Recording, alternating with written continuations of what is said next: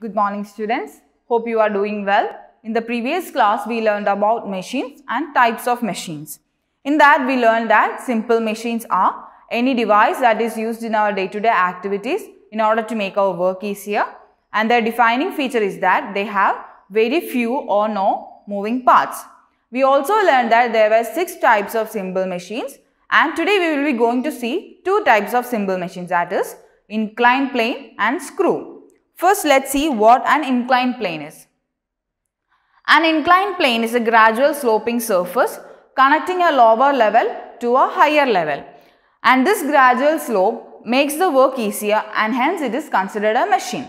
So, an inclined plane is a gradual sloping surface connecting a lower level to a higher level. Since it makes our work easier, it is considered a machine. What is the use of inclined plane? It is used to lift heavy objects from a lower level to a higher level. In this picture, you can see a man pushing two heavy boxes from a lower level to a higher level using an inclined plane. So, what difference it makes is that the effort we have to put in to move the heavy box from the lower level to a higher level reduces if we use an inclined plane.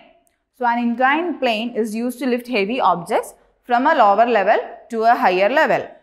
The use of inclined planes was evident from the ancient times itself and it is believed that Egyptians used inclined plane to lift heavy stones while the construction of their great pyramids.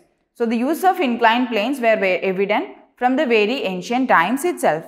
Now let's consider some examples for inclined plane. The first example is the slide in the park or playground and the ladder that we use to reach heights and the stairs and escalators in various buildings.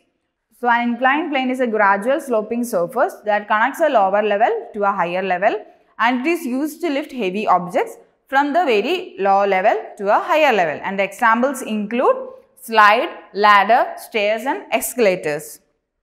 Now take page number 115. In that activity, three pictures are given. From the given options, you have to choose the right option that help the men to shift the heavy stones. In the first picture, or the first image, the men used only the logs and in the second image, the men used only the slope and the third image, the men used both logs and the slope. So, among them, the method that helped the men to shift the heavy stone is option C, the logs and the slope. Hope you have answered the question. Now, let's look into the next type of simple machine that is screw. A screw is an inclined plane that is wrapped around a shaft or cylinder.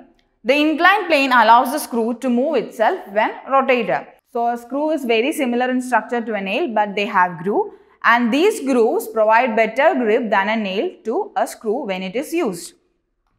Now let's see some examples for screw. The first one is the screw that is used for fixing and the second one is the spiral staircases in various buildings.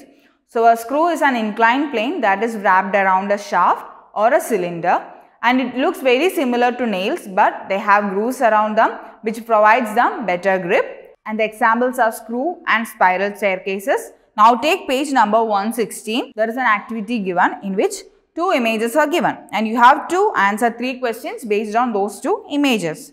The first question is among the two images which road is a gradual slope? The second question is which is a steep road and the third question is which of the two roads is easier to travel?